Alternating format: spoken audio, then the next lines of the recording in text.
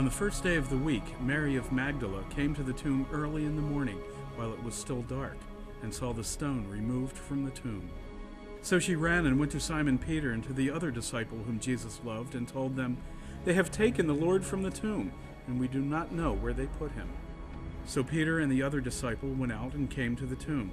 They both ran, but the other disciple ran faster than Peter and arrived at the tomb first. When Simon Peter arrived after him, he went into the tomb and saw the burial cloths there, and the cloth that had covered his head, not with the burial cloths, but rolled up in a separate place. Then the other disciple went in, the one who had arrived at the tomb first, and he saw and believed. For they did not yet understand the scripture that he had to rise from the dead. The Gospel of the Lord. Praise to you, Lord Jesus.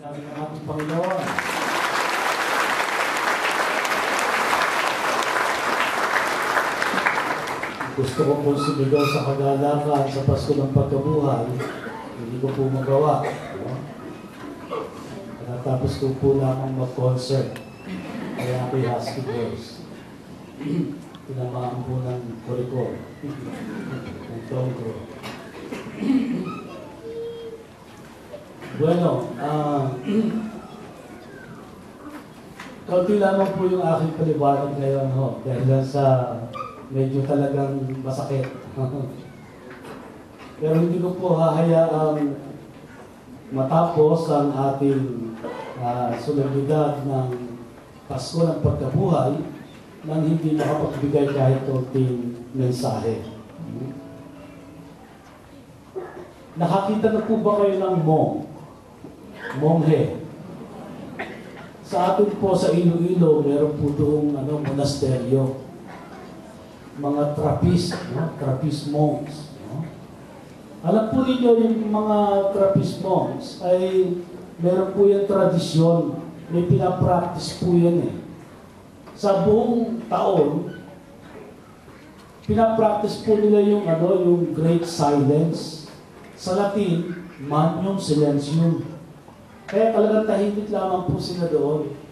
No? Great silence po talaga. Pero whenever they meet, nagbabatian naman po, hindi yung katulad ng ginagawa po natin batiang normal. Good morning, how are you? Hindi po, hindi po ganon. Meron po silang kakaibang batian. Sa Latin din po, memento mori. Pakiulit nga po, memento mori. Yan po yung kanilang batian. At uh, kada magkakasalubong po sila kahit sa masulok ng kanilang ano, monasteryo, babati po yan. Memento Mori. Pakibati nga po ninyo yun inyong mga katabi. Memento Mori. Nakanatin din kayo, no? Baka hindi po ngumiti yung inyong katabi. Pakiulit po, Memento Mori. Pero alam po ba ninyo ang ibig sabihin ng ano, memento mori? Ang ibig sabihin po mo sa English, remember, you will die. O oh, siya, pakibati po sa English ninyo ng kabi. Remember, you will die. Yan, gamit kayo ng gamit ng dati eh.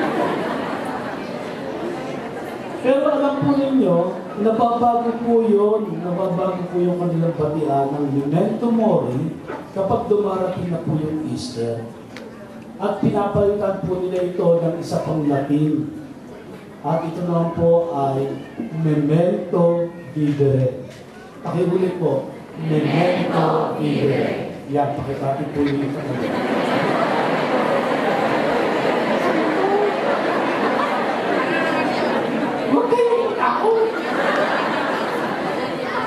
Memento vivere. Memento vivere.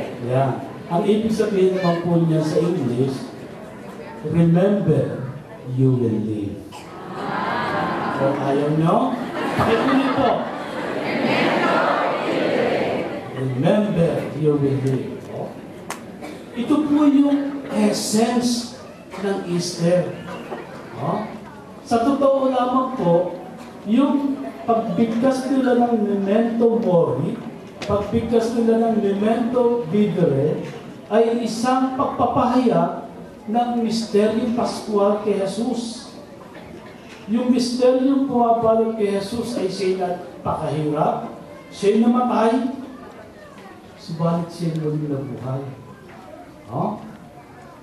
Kung ang isang Kristiyano, isang mananampalataya, ay namumuhay ng buhay ni Kristo, ito rin yung bumabalot ng misteryo sa Kanya. Remember, you will die. Huh? Walang sino man sa atin ang hindi ang mananatili rito habang buhay. Sabi nga po ni San Francisco ng Assisi, yun pong aming founder, It is in dying that we are born to eternal life. See, magkasama po. Huh? At yun po yung misteryong bumabalot sa bawat isa sa atin. Na kung tayo sumasampalataya at namumuhay ng buhay ni Kristo, kung papaanong namatay si Kristo, tayo rin po ay magdaranas ng kamatayan. Kung tayo sumasampalataya at namumuhay ng buhay ni Kristo, kung papaano siyang muling nabuhay, gayon naman, tayong lahat ay muling mabubuhay. May dalawang bagay ang naidudulot ng muling pagkabuhay ni Kristo bilang pangako sa atin. Ano ba ang essence, diwa ng muling pagkabuhay ni Kristo doon sa ating kapanahonan ngayon, sa ating sitwasyon ngayon? Dalawang bagay ang iniiwan sa atin. Ang muling pagkabuhay ni Kristo ay naghahatid sa atin ng isang pag-asa. Katulad ng sinabi ko, yung pag-asa na kahit dumaranas tayo ng kapigatian, kahit dumaranas tayo ng kamatayan, tiyak makakaranas tayo ng muling pagkabuhay, ng pagbangon. Kung nakakaranas tayong ilagay sa loob ng libingan at tinatakpan ng bato, dala ng mga ating kapighatian, ng ating mga problema. Ganun nangyayari sa atin yan, di ba? Nagtatago tayo. Ha? Nagkukulong tayo. Nalulungkot tayo. Dumanas din si Jesus na. Pero inalis na yung batong panakip sa libingan. At siya'y muling nabuhay. Sa kapangyarihan ng kanyang muling pagkabuhay, ito yung pag-asa binibigay niya sa atin. Sa patuloy nating paglalakbay, tutulungan tayo ni Jesus na alisin ng bato na nakatakip sa ating paghihirap, sa ating kamatayan. Bakit? Sapagkat ito'y may diwa ng muling pagkabuhay. Jesus did not remain on the suffering of the cross, but behind the cross is His resurrection. Ganun din po yun sa atin. Okay? Ang ikalawa, tayo po ay nililigaluhan ng isang katotohanan sa diwa ng binyan, tayo tinanggap ng mga anak ng Diyos at tayo tinawag ng mga Kristiyano. Ibig sabihin ng pagiging isang Kristiyano ay hindi lamang po yung membership na katulad ng meron sa isang organization. Hindi. Dahil tayo bilang o kabilang sa komunidad ng mga Katoliko. Hindi po yan. Bilang isang Kristiyano, tayo po ay tinatakan upang maging katulad ni Kristo. Christ-like. Yan po yung meaning ng pagiging isang Kristiyano to become like Jesus. So ito po yung handog na biyaya sa atin. Kaya nga po, isa sa bahagi ng pagdeliver ng muling pagkabuhay ay yung pag pabibless ng tubig, pambinyag. Bakit? Dito sinisilat muli ang mga prutas, mga bunga ng kanyang muling pagkabuhay. May muling pagkabuhay sa binyag. Tayo inulub, inulunibig, inulubog sa tubig ng kamatayan, subalit iyaahon ha?